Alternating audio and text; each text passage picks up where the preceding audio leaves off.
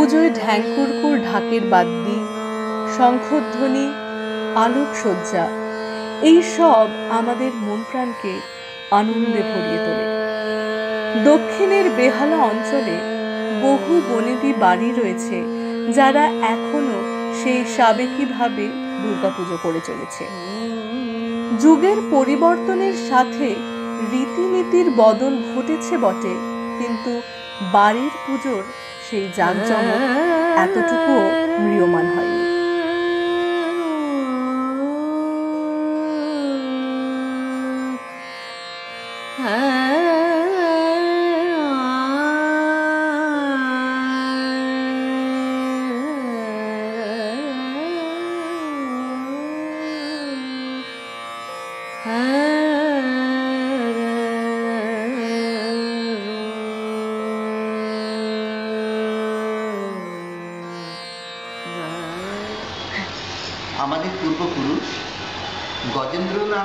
চট্টোপাধ্যায় উনি জাহাঙ্গীরের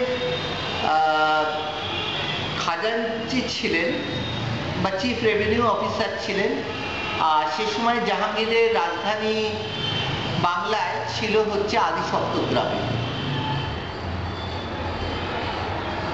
পরবর্তীকালে জাহাঙ্গীর তার রাজধানী পরিবর্তন করে আদি সপ্তগ্রাম থেকে ঢাকায় নিয়ে এটা সপ্তদশ শতাব্দীর গোড়ার দিকের কথা। এই সময় যখন রাজধানী শিফট হয়ে চলে গেল ঢাকায় গজেন্দ্র নারায়ণ চট্টোপাধ্যায় কিন্তু আর ঢাকায় গেলেন না। ওনাকে সেই রাজা উপাধি দিয়েছিলেন। ওই জাহাঙ্গীরের সময় উনি রাজা উপাধি পেয়েছিলেন, রাজা গজেন্দ্র নারায়ণ রায় রায় এবং রায়চৌধুরী টাইটেলটা উপাধিটা সেই সময় পাওয়া। পরবর্তীকালে গজেন্দ্র নারায়ণ রায়চৌধুরী উনি আহ, দুর্গাপুজোর প্রচলন করেন এবং অন্নপূর্ণা পুজোর প্রচলন করেন। ওনার বংশধরেরা এরপরে কিছু সময় মধ্যম গ্রামে এবং তার পরবর- পরবর্তীকালে ওই বর্গীয় আক্রমণের সময় মারাঠা ডিচ যেটা মারাঠা ক্যানাল সেটা টপকে মারাঠা আক্রমণের বর্গীদের অত্যাচারের জন্য পালিয়ে এসে এখানে বেহালায়, বেহালা গ্রাম ছিল তখন, বেহালা গ্রামে বসবাস শুরু করে।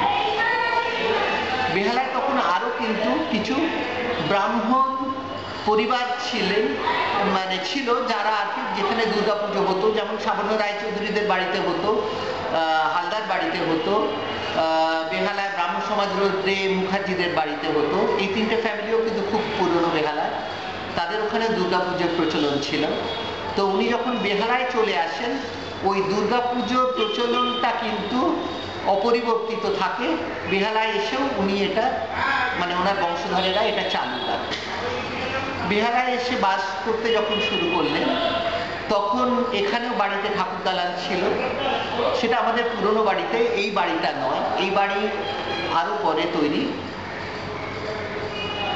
তো যাই হোক, এই পরবর্তীকালে মানে আমাদের পরিবারের একজন মানে খুব প্রতিভাবান মানুষ ছিলেন রায়বাহাদুর অম্বিকাচরণ রায়। তিনি এই পুজোটা যাতে আনইন্টারাপ্টেড চলতে থাকে, এই পুজোটা শুরু হয়েছিল কিন্তু পলাশির যুদ্ধের এক বছর আগে, সতেরোশো ছাপ্পান্ন সাল থেকে। তো এই পুজো যাতে ঠিক ঠিকভাবে হয়, তার জন্যে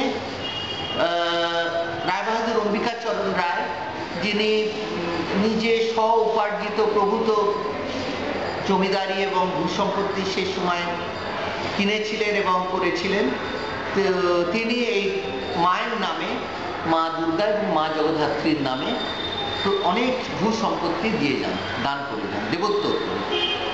তো সেই দেবোত্তর থেকে কিন্তু আজও পুজো হয়।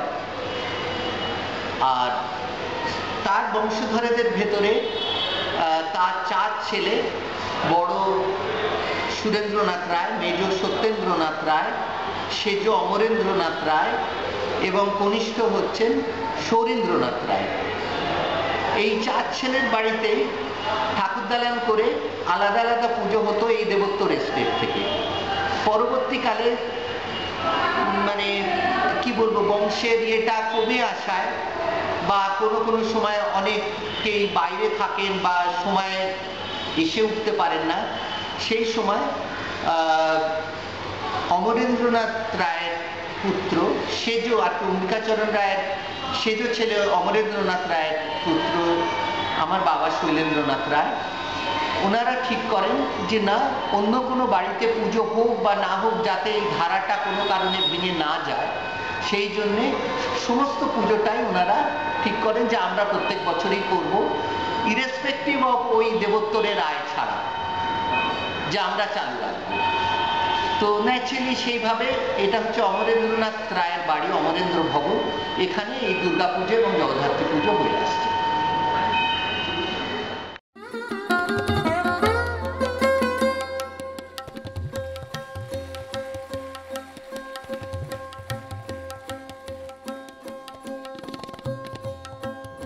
প্রত্যেক দিন সন্ধেবেলায় দর্শনার্থীদের জন্য এখানে পাঁচ হাজার চন্দ্রপুলি বানানো হয়।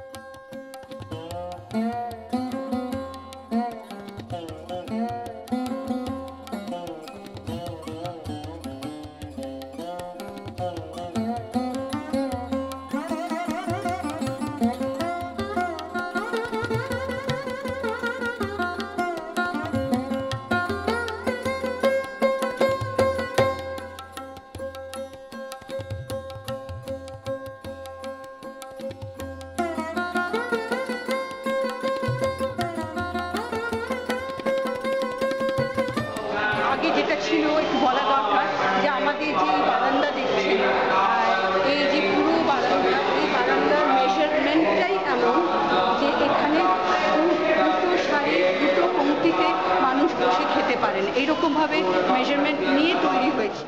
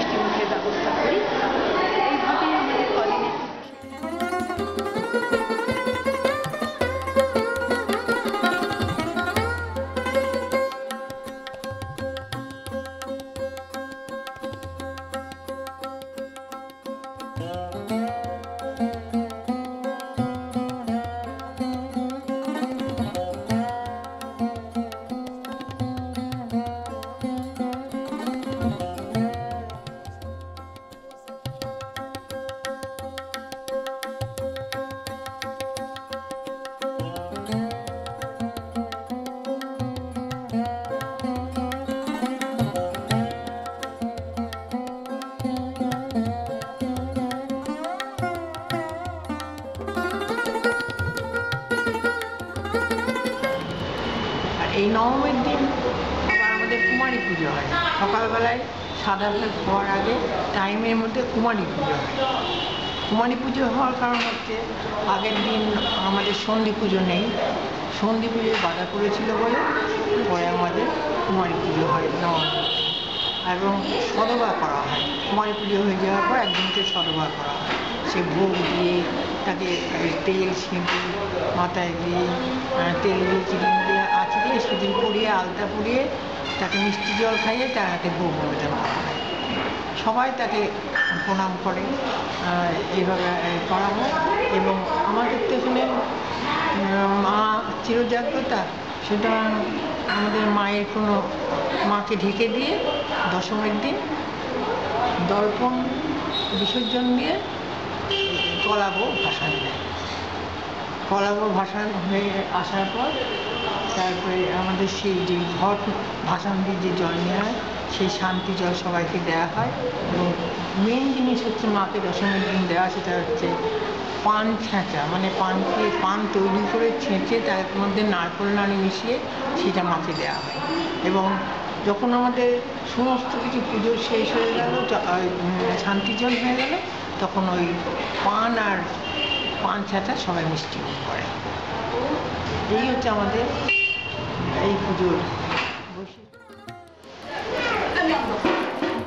সোনার দুর্গাবাড়ি এই বাড়ির পুজোয় এক বিশেষত্ব রয়েছে।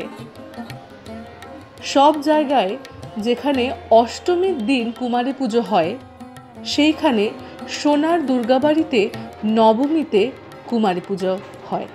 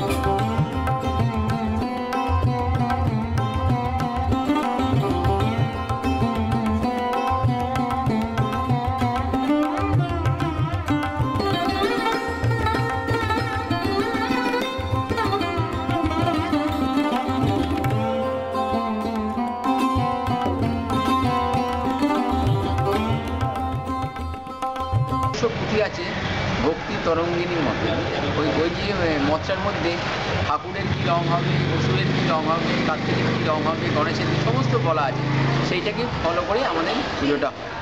আগে আমাদের এখানে তিন দিনে বলিদান হতো পাঁটা বলি মোষ বলি মোট তেরোটা পাঁটা বলি একটা মোষ বলি হতো। সতেরো, সাত সাল থেকে আমাদের বলিদানটা বন্ধ হয়ে গেছে। এই, আর আগে আমাদের ঠাকুর যেত এখান থেকে কাঁধে করে বিসর্জন হতো, আমাদের যে এখন যে টালিন হাঁটাটা দেখছেন, ওইটা আগে, ওইখানে আমাদের নিজস্ব সাবন রাজ্যদের নিজস্ব ঘাট ছিল, সেই ঘাটে হতো। কিন্তু আটাত্তর সালে যে ভয়াবহ বন্যার পর থেকে ওটা বন্ধ হয়ে গেছে, এখন আমাদের গঙ্গাতে বিসর্জন হয়। আচ্ছা আর আমাদের একটা হচ্ছে কি, আমাদের দু প্রত্যেক দিন দুবেলাতেই আমাদের অন্নভোগ হয় এবং অন্নভোগ না, আমিষ ভোগ দুবেলাতে সকালেও হয় এটা বিকেলে অন্নভোগ আপনি কোনো বাড়িতে দেখতে পাবেন না, এটা আমাদের প্রত্যেক দিনই। আর দশমীর দিন সকালে আমাদের পান্তা ভোগ হয় মানে চালতার অম্বল কই মাছের ঝাল, তারপরে আপনার খেসারির ডাল, এইটা আপনাদের দশমীর দিন খেতে হয়। বিভিন্ন রকম ফুল আছে, যেমন ধরুন খরপোশা ফুল, তারপরে একটা ওই ঘাস দেয়, কি- ওটাকে কি বলেন ঘাসের নামটা ওইটা যেন ইউজ হয় মা দুর্গার টুথপেস্ট হিসাবে কি কি একটা ঘাস বলে, তারপরে আপনার খরকজা ফুল, নীল অপরাজিতা এইসবগুলো আমাদের লাগবেই, বুঝলেন? শামলা শামলা ফুল শাপলা ফুল আছে না? শাপলা ফুল যত হয় থাক ওটা আমাদের তুলে আনতেই হবে, ওটা সন্দীপ পুজোতে লাগবে। পুজোয় একশো আট পদ্ম দেওয়া হয়, তারপরে একশো আট প্রদীপ জ্বালানো হয়। এটা, আর আমাদের ওই পঁয়তাল্লিশ মিনিটের মধ্যেই, যে পুজো আটচল্লিশ মিনিটের মধ্যেই ভোগ রান্না করে দেওয়া হয় এবং ভোগেতে তার সঙ্গে ল্যাটা মাছ পুড়িয়ে, ওটা জ্যান্ত ল্যাটা মাছকে পুড়িয়ে দেওয়া হয়। থিম পুজোর মাঝেও বেহালার এই বনিদি বাড়ির পুজো মানুষকে আকর্ষণ করে। এই চারটে দিন মা আমাদের কাছে কন্যা রূপে আসেন। তার আদর যত্নের কোনো ত্রুটি রাখা হয় না। বিদায় বেলায় তাই আমরা সবাই বলি, আবার এসো মা।